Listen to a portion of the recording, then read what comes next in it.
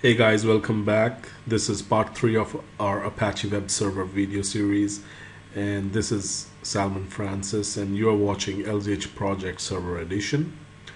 And in our third video, we will see how to password protect our website. So let's start.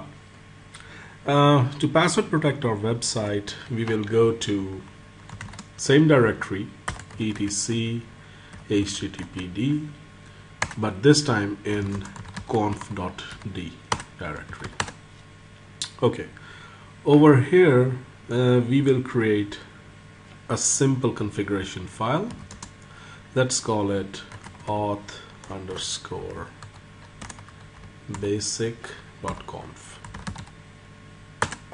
Okay, and we will add uh, press enter and add some directives like directory uh, which website we want to protect?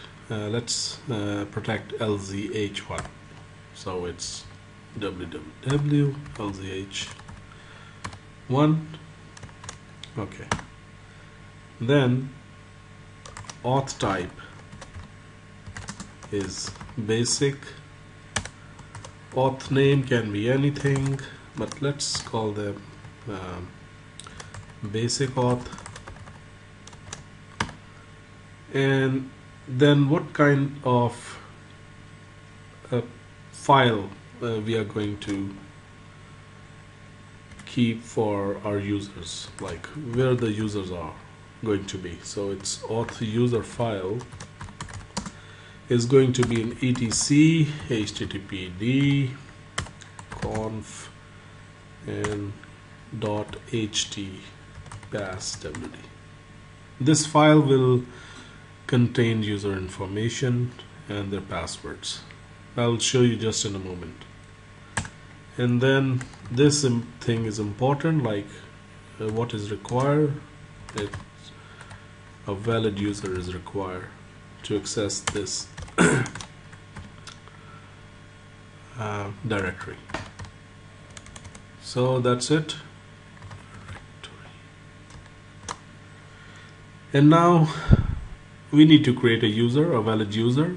Uh, let me explain you uh, line by line. This directive means that this directory or this uh, LZH1 we need to we want to protect this directory actually. The authentication type is basic. This is the name of authentication. You can give it any name. Auth user file is the file name which is going to be uh, holding all the user data and the password. This dot means that it's this file is going to be hidden. So that's why this uh, we always add a dot before this file uh, to make it for security purpose uh, so that normal users cannot view this file. Require valid user means that a valid user is required to access this directory and which is the valid user the valid user is going to be a user which we will create uh, with the help of htpasswd and it's going to be in this uh, uh, file. So let's save write and quit. And now we will issue the command ht passwd hyphen c to create a user. And httpd conf and .ht passwd. So this file uh, doesn't exist at the moment. Let me show you to make sure.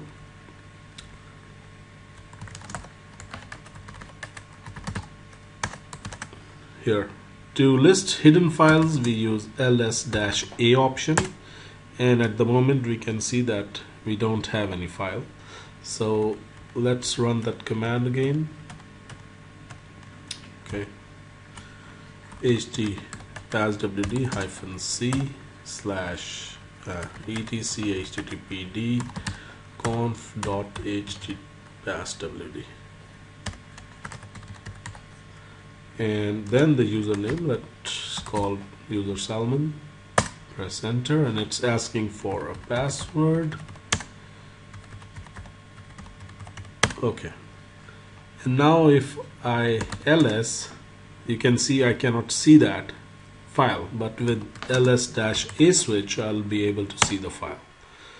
And that's it .htpasswd and let's see the content of this .htpasswd and it will show me the username and then the encrypted password. Okay let's go back. Now uh, our authentication is working I hope but let's restart our Apache server. So to restart it system ctl restart httpd dot service. Okay service. Okay and let's try to browse our website.